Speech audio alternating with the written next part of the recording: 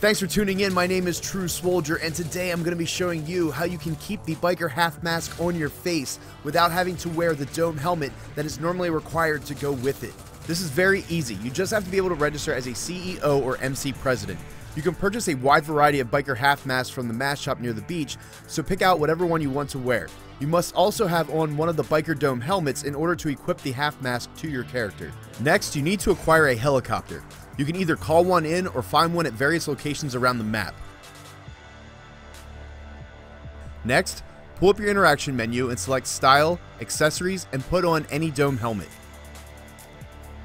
Now, select the half mask of your choosing.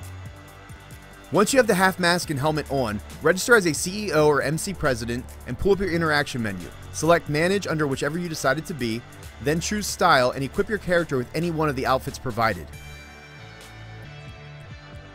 Now, get inside the helicopter, and once you're inside, retire if you're a CEO or disband if you're an MC president, and exit the helicopter.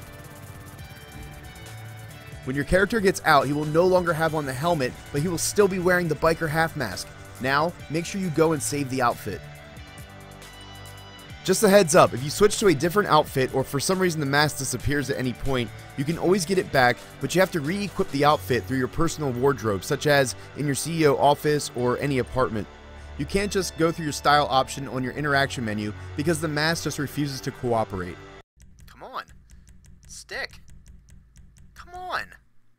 Oh, come on. With all that being said, I want to thank everybody for watching. Be sure to click subscribe to stay up to date with all my gaming content. Follow me on Twitter at True Soldier. Be sure to hit that like button if you feel it in your hearts to do so. And last but not least, stay swole.